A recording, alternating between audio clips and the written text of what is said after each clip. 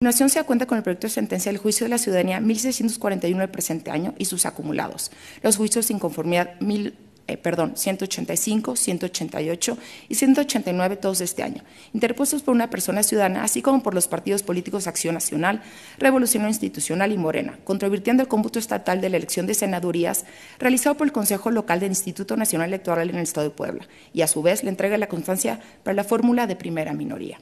Respecto al agravio y la presunta inelegibilidad de las personas que integran la fórmula primera minoría, se advirtió que la solicitud de registro de las candidaturas adjuntaron una carta de autoadscripción indígena y una constancia emitida por quien se ostenta como comisario ejidal de El Molino de Zacapoaxtla, quien es autoridad reconocida para emitirla. De ahí que no asista la razón a la persona promovente.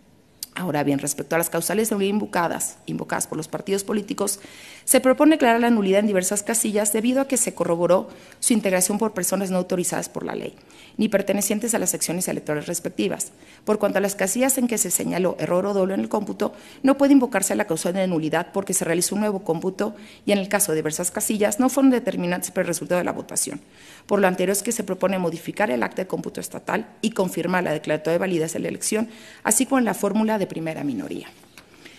Enseguida